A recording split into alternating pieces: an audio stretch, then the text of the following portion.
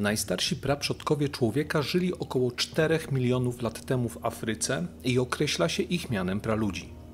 Różnili się znacznie od obecnie żyjących ludzi.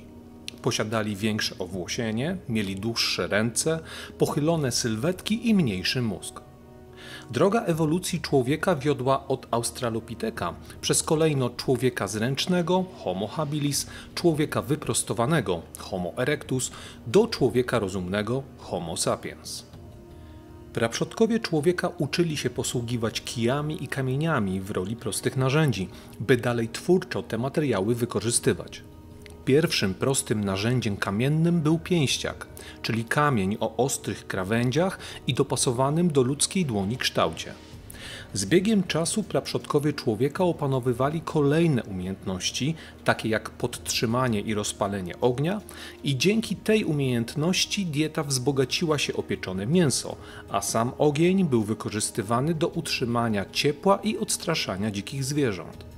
Prawdziwym kamieniem milowym okazało się być opanowanie mowy, dzięki czemu możliwa stała się lepsza wymiana informacji oraz przekazywanie doświadczeń. Rozwojowi człowieka towarzyszyły zmiany w sposobie gospodarowania. Pierwsi ludzie trudnili się myślistwem i zbieractwem. Nie budowali stałych siedzib, gdyż musieli nieustannie się przemieszczać w poszukiwaniu zwierząt i roślin.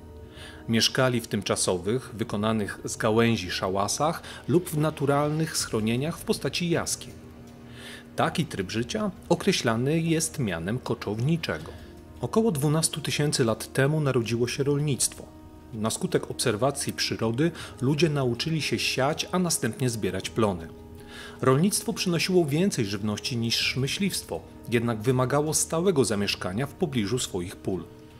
Domostwa stały się stałe, a ludzie dzięki większej ilości jedzenia mogli zamieszkiwać w większych grupach. Zaczęły powstawać pierwsze osady liczące po kilka domostw. Proces przejścia ludzi z koczowniczego na osiadły tryb życia, który dokonał się na skutek wprowadzenia rolnictwa, określa się mianem rewolucji neolitycznej.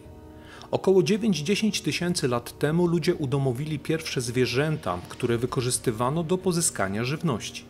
Jako pierwsze w tym celu wykorzystywano owce i kozy. Początkowo do pracy i polowań wykorzystywano narzędzia o kamiennych ostrzach, jednak kamień był trudny w obróbce i szybko się tępił. Czas, w którym stanowił on podstawowy materiał, z którego wykonywano narzędzia, nazywany jest epoką kamienia. Około 5,5 tysiąca lat przed naszą erą ludzie zaczęli wykorzystywać do produkcji broni i narzędzi metale. Pierwszym była miedź, jednak okazała się być zbyt miękka. Później odkryto, że po dodaniu do miedzi cyny uzyskuje się twardy stop, który nazwano brązem. Okres, w którym materiał ten wykorzystywano powszechnie, nazywa się epoką brązu. Około 1200 roku przed naszą erą ludzie opanowali sztukę wytopu żelaza, które było materiałem jeszcze wytrzymalszym niż brąz. Wydarzenie to rozpoczęło epokę żelaza, która trwa do dziś.